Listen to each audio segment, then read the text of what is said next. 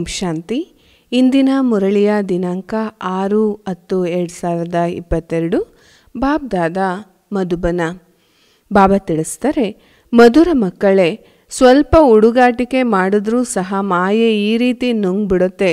ಅವರು ಈಶ್ವರಿಯ ಸಂಘದಿಂದಲೂ ಸಹ ದೂರ ಆಗಿಬಿಡ್ತಾರೆ. ಆದ್ದರಿಂದ ತಮ್ಮನ್ನು ಸಂಭಾಲ್ ಸಂಭಾಲನೆ ಮಾಡ್ಕೊಳ್ಳಿ. ಬಹಳ ಎಚ್ಚರಿಕೆಯಿಂದ ನೀವು ಇರಬೇಕಾಗಿದೆ. ಪ್ರಶ್ನೆ ಈ ಈಶ್ವರಿಯ ತರಗತಿಯಲ್ಲಿ ಕುಳಿತುಕೊಳ್ಳಿಕ್ಕೋಸ್ಕರ ನಿಯಮ ಏನು? ಉತ್ತರ, ಯಾರು ತಂದೆಯನ್ನು ಯಥಾರ್ಥವಾಗಿ ತಿಳ್ಕೊಳ್ತಾರೆ, ಅವರೇ ಈ ತರಗತಿಯಲ್ಲಿ ಕುಳಿತುಕೊಳ್ಬೇಕು. ಇಲ್ಲಿ ಕುಳಿತುಕೊಳ್ಳೋರಲ್ಲಿ ಅವ್ಯಭಿಚಾರಿ ನೆನಪು ಇರಬೇಕಾಗಿದೆ. ಒಂದು ವೇಳೆ ಇಲ್ಲಿ ಕುಳಿತಿದ್ರೂ ಸಹ ಅನ್ಯರನ್ನು ನೆನಪು ಮಾಡ್ತಾ ಇದ್ರೆ ಅವರು ವಾಯುಮಂಡಲವನ್ನು ಹಾಳು ಮಾಡ್ತಾರೆ ಇದು ಸಹ ಬಹಳ ದೊಡ್ಡ ಡಿಸ್ಸರ್ವಿಸ್ ಆಗತ್ತೆ. ಇಲ್ಲಿ, ಇಲ್ಲಿನ ಕಾಯ್ದೆ ಬಹಳ ಕಠಿಣ ಆಗಿರೋ ಕಾರಣ ನಿಮ್ಮ ವೃದ್ಧಿ ಕಡಿಮೆ ಆಗಿಬಿಡತ್ತೆ. ಪ್ರಶ್ನೆ, ಯಾವ ಒಂದು ಮಾತಿನಿಂದ ಮಕ್ಕಳ ಸ್ಥಿತಿಯ ಬಗ್ಗೆ ಅರ್ಥ ಆಗತ್ತೆ? ಉತ್ತರ, ಈ ರೋಗಿ ಭೋಗಿ ಪ್ರಪಂಚದಲ್ಲಿ ಎಂದಾದರೂ ಯಾವುದೇ ಪರೀಕ್ಷೆ ಬಂದಾಗ ಅಳ್ತಾರೆ ಅಂದರೆ ಆಗ ಅವರ ಸ್ಥಿತಿ ಬಗ್ಗೆ ಅರ್ಥ ಆಗತ್ತೆ. ಆದರೆ ನೀವು ಈಗ ಅಳುವಂತಿಲ್ಲ ಹಾಡಾಗಿದೆ, ಮುಖವನ್ನು ನೋಡಿಕೋ ಪ್ರಾಣಿ. ಓಂ ಶಾಂತಿ. ಪ್ರಾಣಿ ಅಥವಾ ಆತ್ಮವೇ ಅಂತ ಯಾರು ಹೇಳಿದ್ರು? ಇವರ ಪ್ರಾಣವು ಹೊರಟು ಹೋಯಿತು ಅಂತ ಹೇಳ್ತಾರೆ ಅಲ್ವಾ? ಅಂದರೆ ಆತ್ಮ ಹೊರಟೋಗುತ್ತೆ ಆದ್ದರಿಂದ ಪ್ರಾಣ ಅಂತ ಆತ್ಮಕ್ಕೆ ಹೇಳ್ತಾರೆ ಹೊರತು ಶರೀರಕ್ಕಂತೂ ಅಲ್ಲ. ತಂದೆ ಆತ್ಮಗಳೊಂದಿಗೆ ಕೇಳ್ತಾರೆ, ನೀವು ಪಾ ಪಾಪಾತ್ಮಗಳಾಗಿದ್ದೀರೋ ಅಥವಾ ಪುಣ್ಯಾತ್ಮಗಳಾಗಿದ್ದೀರೋ? ಎಲ್ಲರೂ ತಮ್ಮನ್ನು ಪತಿತರು ಅನ್ನೋದನ್ನು ಒಪ್ಕೊಳ್ತಾರೆ. ಆದ್ದರಿಂದ ತಂದೆ ತಿಳಿಸ್ತಾರೆ, ತಮ್ಮೊಂದಿಗೆ ತಾವು ಕೇಳ್ಕೊಳ್ಳಿ, ನಾವು ಯಾವ ಯಾವ ಪಾಪ ಮಾಡಿದ್ದೇವೆ, ಯಾವಾಗ ಬಂದಿದ್ದೇವೆ. ಪಾಪಾತ್ಮರಂತೂ ಎಲ್ಲರೂ ಆಗಿದ್ದಾರೆ ಅಲ್ವಾ? ಆದರೆ ನಂಬರ್ ವಾರ್ ಇದ್ದಾರೆ ಅಂದಾಗ, ನಂಬರ್ ವಾರ್ ಪುಣ್ಯಾತ್ಮ ಯಾರು? ನಂಬರ್ ಒನ್ ಪಾಪಾತ್ಮ ಯಾರು? ಭಾರತ ಅಂತೂ ಪಾವನ ಆಗಿತ್ತು, ಈಗಂತೂ ಪತಿತ ಆಗಿದೆ. ಇದು ಎಲ್ಲ ಮನುಷ್ಯಾತ್ಮರು ಮಾಯೆಯೇ ಗುಲ, ಈಗಂತೂ ಎಲ್ಲ ಮನುಷ್ಯಾತ್ಮರು ಮಾಯೆಗೆ ಗುಲಾಮರಾಗಿದ್ದಾರೆ. ಅರ್ಧ ಕಲ್ಪ ಮಾಯೆಗೆ ಗುಲಾಮರಾಗ್ತಾರೆ. ಮತ್ತೆ ಇನ್ನರ್ಧ ಕಲ್ಪ ಮಾಯೆಯನ್ನು ಗುಲಾಮರನ್ನಾಗಿ ಮಾಡಿಕೊಳ್ತಾರೆ. ಆದ್ದರಿಂದ ಅವರಿಗೆ ಪುಣ್ಯಾತ್ಮರು ಅಂತ ಹೇಳಲಾಗತ್ತೆ. ಲಕ್ಷ್ಮೀನಾರಾಯಣರಿಗೆ ಭಗವಾನ್ ಭಗವತಿ ಅಂತ ಹೇಳಲಾಗತ್ತೆ. ರಾಜಧಾನಿ ಅಂತೂ ಇತ್ತು. ಆ ಸಮಯದ ಭಾರತಕ್ಕೆ ಪಾವನ ಅಂತ ಹೇಳಲಾಗತ್ತೆ. ಅಲ್ಲಿ ದೈವಿ ಗುಣವಂತ ಮನುಷ್ಯರು ಇರ್ತಾರೆ. ಸರ್ವಗುಣ ಸಂಪನ್ನ ಹದಿನಾರು ಕಲಾ ಸಂಪೂರ್ಣ ಅಂತ ಹೇಳ್ತಾರೆ ಅಂದಮೇಲೆ ಪುಣ್ಯಾತ್ಮರು ಆದರು ಅಲ್ವಾ? ಮತ್ತು ಅಹಿಂಸಾ ಪರಮೋ ಧರ್ಮಿಗಳು ಅಂತ ಹೇಳ್ತಾರೆ ಅಂದಾಗ ಅವರು ಅಹಿಂಸಕರಾಗ್ತಾರೆ. ಹಿಂಸೆಗಂತೂ ಎರಡು ಅರ್ಥಗಳಿದೆ. ಹಿಂಸೆ ಅಂದರೆ ಅನ್ಯರನ್ನು ಹೊಡೆಯೋದು, ದುಃಖಿ ಮಾಡೋದು, ಹೊಡೆಯುವುದು ಸಹ ಎರಡು ಪ್ರಕಾರ ಇರುತ್ತೆ. ಒಂದು ಕಾಮದ ಕತ್ತಿಯಿಂದ ಹೊಡಿತಾರೆ ಎರಡನೆಯದು ಕ್ರೋಧದಿಂದಲೂ ಸಹ ಹೊಡಿತಾ ಇರ್ತಾರೆ. ಇದು ಸಹ ಹಿಂಸೆಯಾಗಿದೆ. ಈ ಸಮಯದಲ್ಲಿ ಎಲ್ಲರೂ ಸಹ ಪಾಪಾತ್ಮಗಳಾಗಿದ್ದಾರೆ. ನಾನು ನಿರ್ಗುಣನಲ್ಲಿ ಯಾವುದೇ ಗುಣ ಇಲ್ಲ ಅಂತ ಹೇಳ್ತಾರೆ. ಅಂದಾಗ ನಂಬರ್ ವಾರ್ ಇರ್ತಾರೆ. ಆದರೆ ಪುಣ್ಯಾತ್ಮರಾಗಿದ್ದಾರೆ ಅಂದಮೇಲೆ ಯಾವಾಗ ತಂದೆ ಬರ್ತಾರೆ ಆಗ ಅವರನ್ನು ಅರ್ಥಕೊಳ್ಬೇಕು ಅಲ್ವಾ? ಪರಂಪಿತ ಅಂತ ಹೇಳಲಾಗತ್ತೆ. ಅವರಿಗೆ ಯಾರೂ ಸಹ ಪಿತ ಇಲ್ಲ. ಅವರೇ ಎಲ್ಲರಿಗೂ ತಂದೆ ಆಗಿದ್ದಾರೆ. ಎಲ್ಲರಿಗೂ ಶಿಕ್ಷಕ ಆಗಿದ್ದಾರೆ. ಪರಂಪಿತ ಪರಮಧಾಮದಲ್ಲಿ ಇರ್ತಾರೆ. ಅವರಿಗೆ ಯಾರೂ ಸಹ ತಂದೆ ಇಲ್ಲ. ಮತ್ತೆ ಎಲ್ಲರಿಗೂ ಸಹ ತಂದೆ ಇದ್ದಾರೆ. ಬ್ರಹ್ಮ, ವಿಷ್ಣು, ಶಂಕರರಿಗೂ ಸಹ ತಂದೆ ಇದ್ದಾರೆ. ಶಿವಾಯ ನಮಃ ಅಂತ ಹೇಳ್ತಾರೆ ಅಂದಮೇಲೆ ತಂದೆ ಆದರೂ ಅಲ್ವಾ, ಆ ತಂದೆ ಪುನರ್ಜನ್ಮದಲ್ಲಿ ಬರೋದಿಲ್ಲ, ಆದರೆ ಅವರು ಕಲ್ಪದಲ್ಲಿ ಒಂದೇ ಬಾರಿ ಜನ್ಮವನ್ನು ಪಡೀತಾರೆ. ಶಿವ ಜಯಂತಿ ಅಂತ ಹೇಳ್ತಾರೆ ಅಂದಮೇಲೆ ಜನ್ಮ ಆಯಿತು ಅಲ್ವಾ, ಆದರೆ ಶಿವ ಹೇಗೆ ಜನ್ಮ ಪಡ್ಕೊಳ್ತಾರೆ ಅನ್ನೋದು ಶಾಸ್ತ್ರವಾದಿಗಳಿಗೆ ಯಾರಿಗೂ ಸಹ ಗೊತ್ತಿಲ್ಲ. ಶಿವರಾತ್ರಿ ಅಂತ ಹೇಳ್ತಾರೆ, ಅಂದಾಗ ಅದು ಯಾವ ರಾತ್ರಿ? ರಾತ್ರಿಯಲ್ಲಿ ಮನುಷ್ಯರು ಅಂಧಕಾರದಲ್ಲಿ ಹುಡುಕಾಡ್ತಾರೆ, ಮತ್ತು ಭಕ್ತಿ ಮಾರ್ಗದಲ್ಲಿಯೂ ಗಂಗಾ ಸ್ನಾನ ಮಾಡಿ ನಾಲ್ಕು ಧಾಮಗಳ ಯಾತ್ರೆ ಮಾಡಿ ಅಂತ ಹೇಳ್ತಾರೆ. ಅಂದಮೇಲೆ ಅಲೆದಾಟ ಆಯಿತು ಅಲ್ವಾ? ಇದೇ ರಾತ್ರಿ ಆಗತ್ತೆ. ಸತ್ಯ ತ್ರೇತಾಯುಗ ಹಗಲಾಗಿದೆ. ಸತ್ಯ ತ್ರೇತಾಯುಗದಲ್ಲಿ ಸುಖ ಇರುತ್ತೆ. ಅಲ್ಲಿ ಪರಮಾತ್ಮನನ್ನು ನೆನಪು ಮಾಡುವಂಥ ಅವಶ್ಯಕತೆ ಇರೋದಿಲ್ಲ. ದುಃಖದಲ್ಲಿ ಎಲ್ಲರೂ ಸಹ ಸ್ಮರಣೆ ಮಾಡ್ತಾರೆ ಅಂತ ಹೇಳ್ತಾರೆ. ಭಕ್ತರು ಸ್ಮರಣೆ ಮಾಡ್ತಾರೆ, ಸಾಧನೆ ಮಾಡ್ತಾರೆ ಅಂದಮೇಲೆ ಪತಿತರಾದರು ಅಲ್ವಾ? ಭಾರತಕ್ಕೆ ಪತಿತ ಅಂತ ಹೇಳ್ತಾರೆ, ಯಾಕೆಂದರೆ ಭಾರತವೇ ಪಾವನ ಆಗಿತ್ತು. ಆಗ ದೇವಿ ದೇವತಾ ಧರ್ಮ ಇತ್ತು. ಪವಿತ್ರರಿದ್ರು. ಸತ್ಯ ತ್ರೇತಾಯುಗದಲ್ಲಿ ಅನ್ಯ ಧರ್ಮ ಇರೋದಿಲ್ಲ. ಅನ್ಯ ಧರ್ಮದ ಪತಿತ ಆತ್ಮರು ಎಲ್ಲರೂ ಸಹ ಶಿಕ್ಷೆಗಳನ್ನು ಅನುಭವಿಸಿ ಪರಮಧಾಮದಲ್ಲಿ ಇರ್ತಾರೆ. ಸತ್ಯಯುಗದಲ್ಲಂತೂ ಬರೋದಿಲ್ಲ. ಸತ್ಯಯುಗದಲ್ಲಿ ಸುಖ, ಶಾಂತಿ, ಸಂಪತ್ತು ಎಲ್ಲನೂ ಇರುತ್ತೆ. ಈ ಅಲ್ಲಂತೂ ಇರೋದೇ ಪ್ರಾಲಬ್ಧ. ಇಲ್ಲಿ ನೀವು ಮಕ್ಕಳದ್ದು ಈಗ ಏಕ ಮತ ಆಗಿದೆ. ಲೌಕಿಕದಲ್ಲಿ ಒಂದು ಮನೆಯಲ್ಲಿ ಅನೇಕ ಮತಗಳು ಇರುತ್ತೆ. ತಂದೆ ಗಣೇಶನನ್ನ ನೆನಪು ಮಾಡ್ತಾರೆ, ಮಗನು ಹನುಮಂತನನ್ನು ನೆನಪು ಮಾಡ್ತಾರೆ ಅಂದಾಗ ಅನೇಕ ಮತ ಆಯಿತು ಅಲ್ವಾ? ಇಲ್ಲಿ ತಂದೆಯಿಂದ ಮಕ್ಕಳಿಗೆ ಆಸ್ತಿ ಸಿಗತ್ತೆ, ಹಾಗೆ ನೋಡಿದ್ರೆ ಅನೇಕರನ್ನ ಬಾಬಾ ಅಂತ ಹೇಳ್ಬಿಡ್ತಾರೆ. ಗಾಂಧೀಜಿಯೂ ಸಹ ಬಾಪು ಆಗಿದ್ರು, ಆದರೆ ಅವರು ಎಲ್ಲರ ತಂದೆ ಅಂತೂ ಆಗಿರಲಿಕ್ಕೆ ಸಾಧ್ಯ ಇಲ್ಲ. ಇವರಂತೂ ಬೇಹದ್ದಿನ ತಂದೆ ಆಗಿದ್ದಾರೆ. ತಂದೆಯೇ ಬಂದು ಎಲ್ಲ ಸಂಕೋಲೆಗಳನ್ನು ಬಿಡಿಸ್ತಾರೆ. ಭಕ್ತಿಯದ್ದು ಸಹ ಸಂಕೋಲೆಯಾಗಿದೆ. ನಾವು ಪತಿತರಾಗಿದ್ದೇವೆ ಅನ್ನೋದನ್ನ ಮನುಷ್ಯರು ಅರ್ಥ ಮಾಡ್ಕೊಳ್ಳೋದೇ ಇಲ್ಲ. ಪತಿತರನ್ನ, ಪಾವನರನ್ನಾಗಿ ಮಾಡುವಂಥವರು ಒಬ್ಬರೇ ತಂದೆ ಆಗಿದ್ದಾರೆ. ನೀವು ಒಬ್ಬ ಸತ್ಯ ತಂದೆಯನ್ನ ಒಪ್ಕೊಳ್ತೀರಾ? ಅನ್ಯ ಸತ್ಸಂಗಗಳಲ್ಲಿ ಹೋದರೆ ಅದನ್ನು ಯಾರೂ ಸಹ ನಿರಾಕರಣೆ ಮಾಡೋದಿಲ್ಲ. ಇಲ್ಲಿಗೆ ಬರಲಿಕ್ಕೆ ಎಲ್ಲರೂ ನಿರಾಕರಿಸ್ತಾರೆ. ಎಲ್ಲಿಯವರೆಗೆ ತಂದೆಯನ್ನ ಅರ್ಥಕೊಳ್ಳೋದಿಲ್ಲ ಅಲ್ಲಿಯವರೆಗೆ ತರಗತಿಯಲ್ಲಿ ಕುಳಿತುಕೊಳ್ಳಿಕ್ಕೆ ಸಾಧ್ಯ ಇಲ್ಲ. ಯಾಕೆಂದರೆ ಎಲ್ಲಿಯವರೆಗೆ ನೆನಪು ಮಾಡೋದಿಲ್ಲ, ಅಲ್ಲಿವರೆಗೆ ಯೋಗ್ಯರು ಆಗೋದಿಲ್ಲ. ಮಾಯೆ ಅಂತೂ ಆರೋಗ್ಯರನ್ನಾಗಿ, ಆರೋಗ್ಯಶಾಲಿಯನ್ನಾಗಿ ಮಾಡುತ್ತೆ. ನಾನಂತೂ ನಿರ್ಗುಣನಲ್ಲಿ ಯಾವುದೇ ಗುಣ ಇಲ್ಲ ಅಂತ ಹೇಳ್ತಾರೆ. ಇದನ್ನು ಎಲ್ಲರೂ ಸಹ ಆಡ್ತಾರೆ ಅಂದರೆ ಎಲ್ಲರೂ ಸಹ ಪತಿತರಾಗಿದ್ದಾರೆ. ಬ್ರಹ್ಮ, ವಿಷ್ಣು, ಶಂಕರನ್ನ ನಿಂದನೆ ಮಾಡ್ತಾರೆ. ಅವರದ್ದು ಎಂತಹ ದೃಷ್ಟಿಯೂ ಸೃಷ್ಟಿಯೂ ಅಂಥದ್ದೇ ಕಾಣಿಸುತ್ತೆ. ಒಂದು ವೇಳೆ ಯಾರಾದರೂ ಇಲ್ಲಿ ಕುಳಿತುಕೊಂಡು ಅನ್ಯರನ್ನು ನೆನಪು ಮಾಡ್ತಾ ಇದ್ರೆ ಅದು ಸಹ ವ್ಯಭಿಚಾರಿ ನೆನಪಾಗ್ಬಿಡತ್ತೆ. ನೆನಪು ಪೂರ್ಣ ರೀತಿಯಲ್ಲಿ ಸ್ಥಿರವಾಗಿ ಇರೋದಿಲ್ಲ. ಯಾಕೆಂದರೆ ಮಾಯೆ ಬುದ್ಧಿ ಯೋಗವನ್ನು ತುಂಡರಿಸುತ್ತೆ. ಆದರೂ ಸಹ ತಂದೆ ನಿಮಗೆ ಬುದ್ಧಿ ಯೋಗವನ್ನು ಜೋಡಿಸ್ಲಿಕ್ಕೋಸ್ಕರ ಕಲಿಸ್ತಾರೆ. ಅಂತಿಮದಲ್ಲಿ ನಿಮ್ಮ ನೆನಪು ಸ್ಥಿರ ಆಗ್ಬಿಡತ್ತೆ. ಅತೀಂದ್ರಿಯ ಸುಖದ ಗಾಯನ ಗೋಪ ಗೋಪಿಕೆಯಿಂದ ಕೇಳಿ ಅಂತ ಅಂತಿಮ ಸಮಯಕ್ಕಾಗಿನೇ ಗಾಯನ ಇದೆ. ಇಲ್ಲಿ ಬಹಳ ಕಠಿಣ ನಿಯಮಗಳಿರೋ ಕಾರಣ ಈ ಸಂಸ್ಥೆಯಲ್ಲಿ ವೃದ್ಧಿ ಜಾಸ್ತಿ. ಆಗೋದಿಲ್ಲ. ಎಲ್ಲಿಯವರೆಗೆ ತಂದೆಯನ್ನು ಅರ್ಥಕೊಳ್ಳೋದಿಲ್ಲ ಅಲ್ಲಿಯವರೆಗೆ ತರಗತಿಯಲ್ಲಿ ಕುಳಿತುಕೊಳ್ಳಿಕ್ಕೆ ಸಾಧ್ಯ ಇಲ್ಲ. ಯಾಕೆಂದರೆ ಇಲ್ಲಿ ಅವ್ಯಭಿಚಾರಿ ನೆನಪು ಬೇಕು. ಯಾರೂ ಸಹ ಸತ್ಯ ಕಂಡದ ಮಾಲೀಕರನ್ನಾಗಿ ಮಾಡಲಿಕ್ಕೆ ಸಾಧ್ಯ ಇಲ್ಲ. ನೀವು ತಂದೆಯ ಮೂಲಕ ಸತ್ಯ ಕಂಡಕ್ಕೆ ಮಾಲೀಕರು ಆಗ್ತೀರಾ? ಈಗಂತೂ ಅಸತ್ಯ ಕಂಡ ಆಗಿದೆ ಆದ್ದರಿಂದ ಸುಳ್ಳು ಮಾಯೆ, ಸುಳ್ಳು ಶರೀರ ಅಂತ ಹೇಳ್ತಾರೆ ಅಲ್ವಾ? ಅರ್ಧ ಕಲ್ಪ ಹೀಗೇನೆ ನಡೆಯುತ್ತೆ.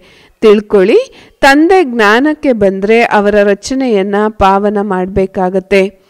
ಒಂದು ವೇಳೆ ಮಕ್ಕಳು ಪವಿತ್ರರಾಗಿದ್ದರೆ ಅವರು ಕುಪುತ್ರರಾಗ್ತಾರೆ.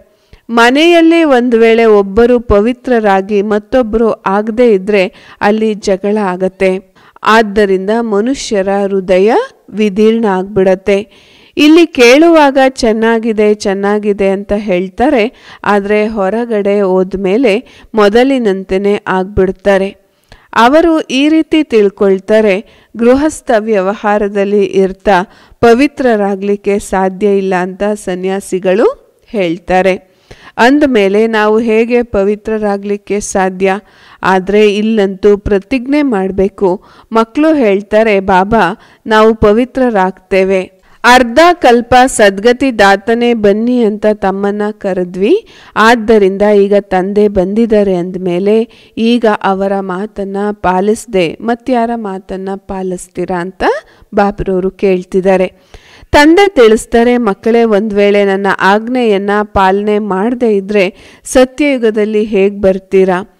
ಒಂದ್ ವೇಳೆ ಅವರು ತಂದೆಗೆ ಸರಿಯಾದ ಮಕ್ಕಳಾಗಲಿಲ್ಲ ಅಂದರೆ ಅವರು ಕುಪುತ್ರರಾಗ್ತಾರೆ.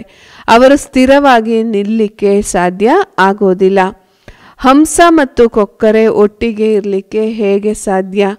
ಕೆಲವರು ಸ್ತ್ರೀಯರು ಪವಿತ್ರವಾಗಿರ್ತಾರೆ, ಪತಿಯರು ಪವಿತ್ರರು ಆಗದೇ ಇದ್ರೆ ಸ್ತ್ರೀಯರು ತಂದೆಯನ್ನ ಬಹಳ ಕರೀತಾರೆ. ತಂದೆ ತಿಳಿಸ್ತಾರೆ, ಮಕ್ಕಳೇ, ನೀವು ಎಲ್ಲವನ್ನೂ ಸಹ ಸಹನೆ ಮಾಡಬೇಕಾಗತ್ತೆ. ಹೋಗಿ ಯಾವುದಾದ್ರೂ ನೌಕರಿ ಮಾಡಿ, ಪಾತ್ರೆ ತೊಳೆಯಿರಿ, ಹೊಟ್ಟೆಗೆ ರೊಟ್ಟಿಯಷ್ಟೇ ಬೇಕು ಅಲ್ವಾ?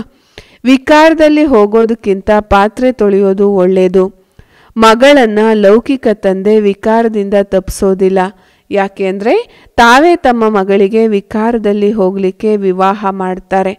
ಆದರೆ ಪಾರಲೌಕಿಕ ತಂದೆ ಹೇಳ್ತಾರೆ, ಮಕ್ಕಳೇ, ಐದು ವಿಕಾರಗಳ ದಾನ ಮಾಡಿ, ಆಗ ಗ್ರಹಣ ಬಿಟ್ಟೋಗುತ್ತೆ.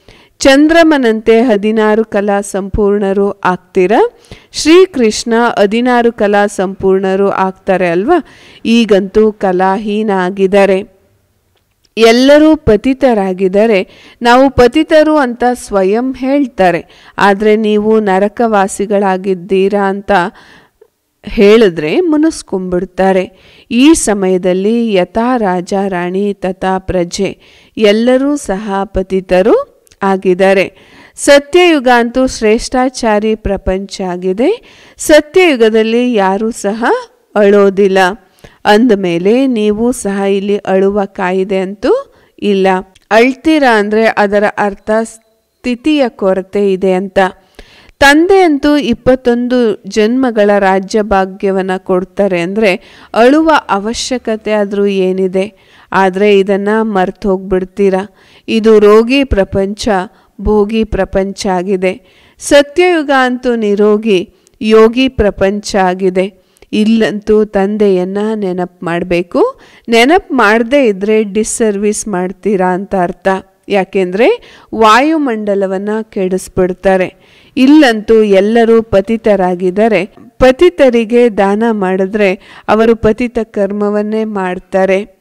ಇಲ್ಲಂತೂ ಪತಿತರ ಜೊತೆ ಪತಿತರ ವ್ಯವಹಾರ ಇರುತ್ತೆ. ಸತ್ಯಯುಗದಲ್ಲಿ ಪಾವನರೊಂದಿಗೆ ಪಾವನರ ವ್ಯವಹಾರ ಇರುತ್ತೆ. ವ್ಯಭಿಚಾರಿ ಪದವೂ ಸಹ ಕೆಟ್ಟದಾಗಿದೆ. ಮೊದಲು ಭಕ್ತಿ ಅವ್ಯಭಿಚಾರಿಯಾಗಿತ್ತು. ಶಿವನ ಪೂಜೆಯನ್ನೇ ಮಾಡ್ತಾ ಇದ್ರು. ನಂತರ ದೇವತೆಗಳು ಭಕ್ತಿಯನ್ನ ಆರಂಭಿಸ್ತಾರೆ. ಕೊನೆಯಲ್ಲಿ ರಜೋಗುಣಿ ಭಕ್ತಿ ಅಂತ ಹೇಳಲಾಗತ್ತೆ. ಈಗಂತೂ ಮನುಷ್ಯರಿಗೂ ಪೂಜೆ ಮಾಡಲಿಕ್ಕೆ ತೊಡಗ್ತಾರೆ. ಸನ್ಯಾಸಿಗಳ ಚರಣವನ್ನ ತೊಳೆದು ಕುಡಿತಾರೆ. ಮನುಷ್ಯರ ಪೂಜೆಗೆ ಭೂತ ಪೂಜೆ ಅಂತ ಕರೀಲಾಗತ್ತೆ. ಅರ್ಥಾತ್ ಪಂಚತತ್ವಗಳಿಂದ ಆಗಿರುವ ಶರೀರದ ಪೂಜೆ ಆಗಿದೆ. ಇವರು ಇನ್ನೇನೂ ಸಹ ತಿಳ್ಕೊಂಡಿಲ್ಲ. ಆದ್ದರಿಂದ ಅಂಧರ ಮಕ್ಕಳು ಅಂಧರು ಅಂತ ಹೇಳಲಾಗತ್ತೆ. ನೀವು ತಂದೆಯ ಮಕ್ಕಳು, ಕಣ್ಣು ಇರುವಂಥವರಾಗಿದ್ದೀರಾ ಅವರಂತೂ ಅಂಧಕಾರದಲ್ಲಿ ಅಲ್ದಾಡ್ತಾ ಇರ್ತಾರೆ. ಗುರು ಬ್ರಹ್ಮ, ಗುರು ವಿಷ್ಣು, ಗುರು ಶಂಕರ ಅಂತ ಹೇಳ್ತಾರೆ. ಈ ರೀತಿ ಹೇಳೋದು ಸಹ ತಪ್ಪು. ವಿಷ್ಣು ಸತ್ಯಯುಗದಲ್ಲಿ ಇರ್ತಾರೆ, ತನ್ನ ಪ್ರಾಲಬ್ಧವನ್ನು ಭೋಗಿಸ್ತಾರೆ.